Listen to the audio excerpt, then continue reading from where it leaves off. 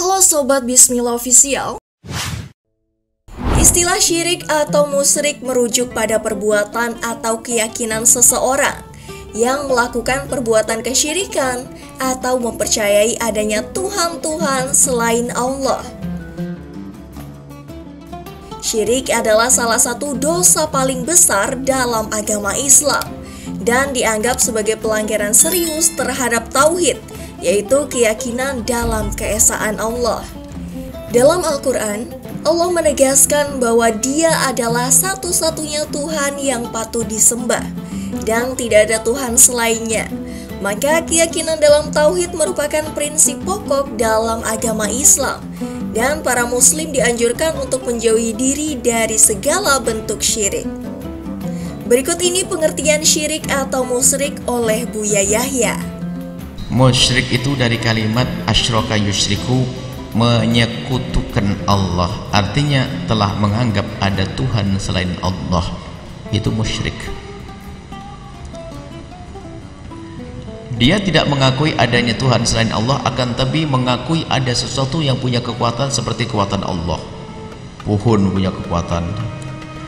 Bahkan biarpun tidak dia menyembah Nyiroro Kidul, mungkin dia tidak dia tidak mengatakan Nyiroro Kidul sebagai Tuhan tapi dia mengatakan ada kekuasaan seperti kekuasaan Allah yang dimiliki oleh selain Allah itu musyrik.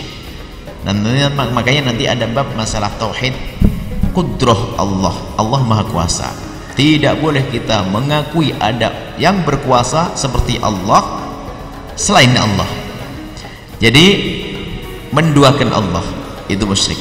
Nah kemudian karena menjadi istilah umum orang musyrik itu secara khusus adalah orang yang meyakini ada Tuhan selain Allah atau ada sesuatu yang punya kekuatan seperti kekuatan Allah selain Allah. Itu musyrik.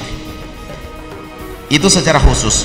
Makna luasnya lagi adalah orang yang tidak mempercayai Allah tapi menyembah Tuhan yang lainnya makanya biasanya kalimat musyrik itu biasanya ditujukan oleh orang untuk orang yang beriman tapi melakukan sesuatu yang keluar dari iman. Tapi bisa jadi musyrik itu adalah lah kalau orang Arab kafir Quraisy katakan al-musyrikun mereka itu percaya adanya Allah tapi juga percaya adanya Lata, Uzza dan sebagainya. Tuhan-Tuhan mereka. Nah musyrik yang kedua adalah dia tidak meyakini adanya Tuhan Allah tapi mempercayai Tuhan selain Allah Allah. Hakikatnya sama tapi bedanya dia tidak memihak percaya dari Tuhan Allah? Enggak percaya. Terus aku percaya Tuhan ini ini. Tapi menurut kita berarti dia dia Tuhannya adalah Allah tapi dia menganggap selain Allah sebagai Tuhan. Yang ketiga adalah itu yang kedua adalah tidak mengakui Allah tapi mengakui Tuhan yang lain. Yang ketiga adalah yang tidak mengakui adanya Tuhan itu masuk juga nanti kepada orang yang musyrik. Tidak mengakui adanya Tuhan.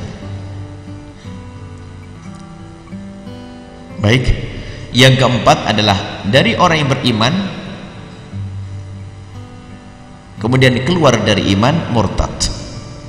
Biarpun gelarnya adalah khusus murtad kemudian sebelumnya mulhid orang ateis tapi itu semuanya nanti dalam lingkungan lang, satu wadah dengan orang musyrik musyrik.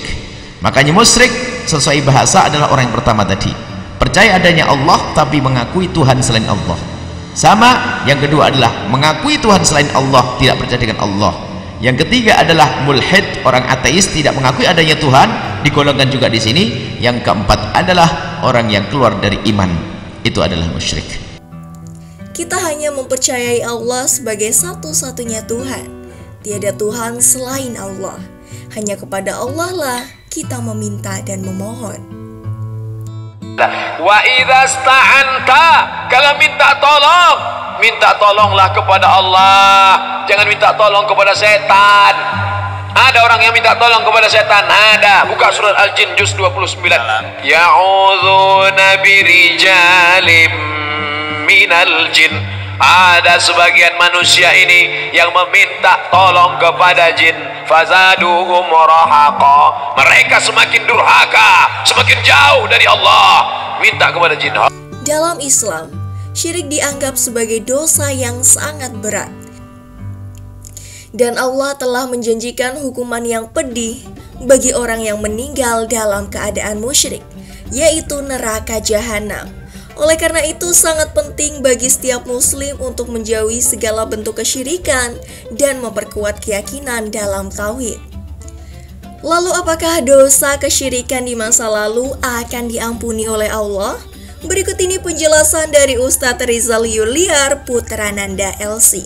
Kalau seseorang menyadari bahwa dirinya dulu pernah melakukan kesyirikan, apakah dosanya diampuni?